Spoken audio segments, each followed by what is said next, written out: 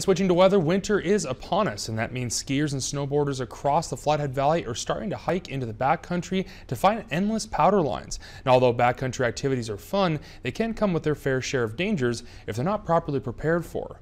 The Flathead Avalanche Center is doing all they can to keep the backcountry enthusiasts safe this winter. Today at the Rocky Mountain Outfitter in Kalispell, the Avalanche Center gave one of their four scheduled avalanche safety courses. The hour-long class stretch stressed how important it is to get prepared before going into the backcountry and how to check if conditions are safe once you get out there. Zachary Miller, a volunteer for Friends of the Flathead Avalanche Center, says the safest approach is to follow the Know Before You Go program and to have the right tools. You got to get gear, you got to get educated, you got to get the forecast, you got to get out there and be looking around, and then last but not least, you got to stay out of harm's way. And these all come together and really are what's vital in being safe out there in the backcountry. And we just don't want to have any more fatalities. We want to have our little community here be safe and having fun and skiing lots of powder.